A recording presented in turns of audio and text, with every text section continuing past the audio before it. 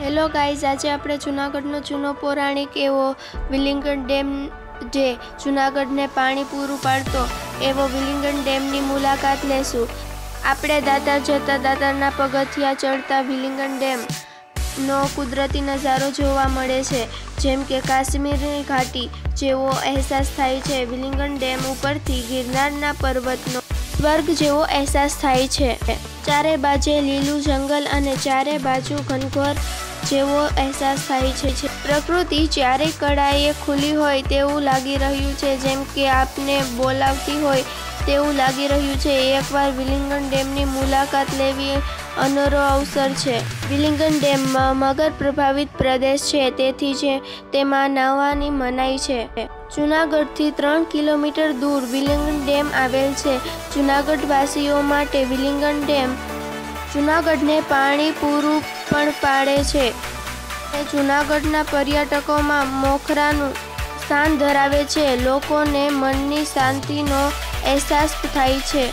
રવિવારની રજામાં માણસો ઉમટી પડે છે. વિલિંગન ડેમના આઠસો સુડતાલીસ મીટર ઊંચા પગથિયા છે. ડેમની બાજુમાં આવેલી જમયંસી દાતારની જગ્યા આવેલી છે.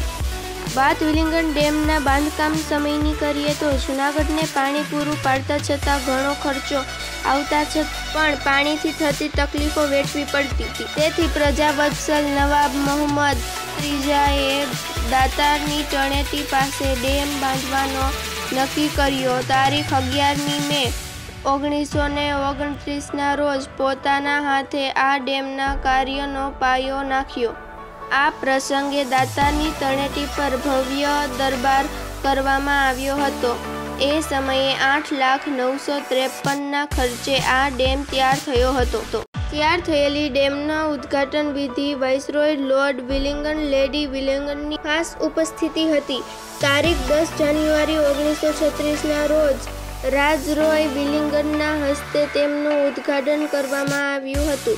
તેથી આ ડેમનું નામ વિલિંગન ડેમ રાખવામાં આવ્યું. નવાબી શાસનકાળ દરમિયાન મળેલી ભેટ વિલિંગન ડેમની સ્વચ્છતા જાળવીએ. આપને મળેલું ઐતિહાસિક વારસાનું જતન કરીએ.